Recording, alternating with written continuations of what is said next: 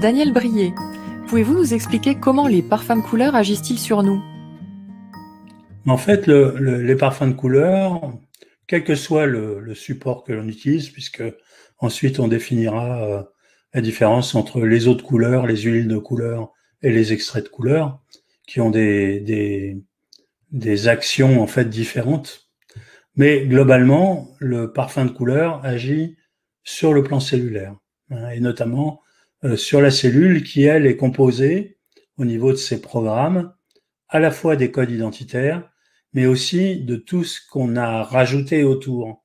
Euh, ce qu'on a rajouté autour sont des croyances, ce sont des chocs de vie, des empreintes mémorielles, ce sont euh, euh, des contraintes éducatives, etc., qui en fait nous ont nous ont formaté à la vie euh, en société, euh, mais qui sont de véritables parasites en fait par rapport à nos codes identitaires, c'est-à-dire qui déforment l'émission vibratoire euh, que produisent nos codes identitaires, ce qui nous fait que, en retour, les retours qu'on a de l'extérieur, de notre environnement, en réponse, à ces émissions, sont déformés par ces parasites en quelque sorte et vont nous amener donc une insatisfaction, des frustrations, etc.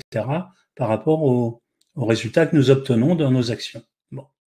Donc le, propos en fait des parfums de couleur, c'est d'éliminer autant que faire se peut euh, tout ce qui a été rajouté euh, autour euh, des codes identitaires.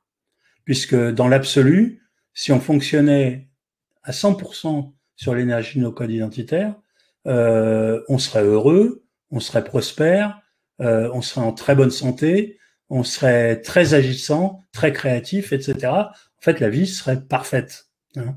Et c'est vraiment toutes les altérations qu'on subit sur notre parcours de vie qui rend les choses plus difficiles.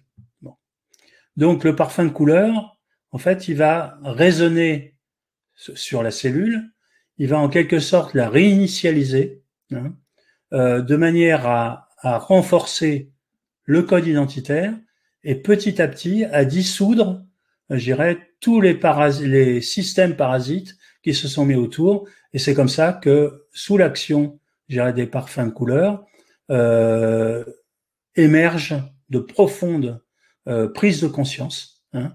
Et lorsqu'une prise de conscience intervient dans un domaine ou un autre, en fait, c'est le signe qu'en fait, il y a un, un ancien programme euh, parasite qui s'est dégagé et qui s'est dégagé définitivement. C'est-à-dire que euh, ce n'est pas quelque chose de, euh, de temporaire. Euh, quand la prise de conscience a été faite, le dégagement est quasiment définitif. quand on parle évidemment des parfums de couleur, la première gamme qui a été conçue, ça a été ce qu'on appelle les autres couleurs. Bon, donc les autres couleurs sont donc des, des, parfums respirés euh, qui ont une, une, triple action en fait. Euh, d'abord, le fait de les poser dans la paume de main, euh, la paume de main étant très innervée sur le plan sanguin, on va dire. Les molécules euh, donc olfactives du essentiel passent tout de suite dans le sang, hein, donc animent tout de suite les systèmes, les systèmes endocriniens, qui réagissent quasiment instantanément, c'est de l'ordre de, de quelques secondes. Le fait de respirer le parfum, puisqu'on pose les mains euh, devant son visage et on respire profondément la fragrance, va agir donc euh, directement sur le cerveau. La cavité olfactive est, séparée du cerveau par euh, une très fine membrane, et dans cette cavité olfactive, on a à peu près 30 000 cils au centimètre carré qui transforment en fait les odeurs euh, en informations électromagnétiques qui vont évidemment vers le cerveau.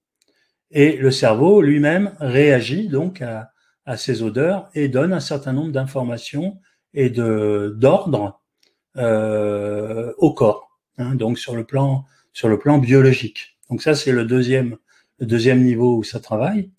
Et le troisième niveau, évidemment, c'est l'aura, c'est les champs énergétiques, c'est ce qu'on appelle euh, les plans les plans subtils où le parfum étant très volatile évidemment, il se répartit autour de l'être, autour de l'individu, et donc il va euh, alimenter donc euh, les différents plans euh, subtils de, donc de l'individu, de son aura, et évidemment continuer donc l'action, l'action de rééquilibrage par rapport à cette couleur et à cette fréquence.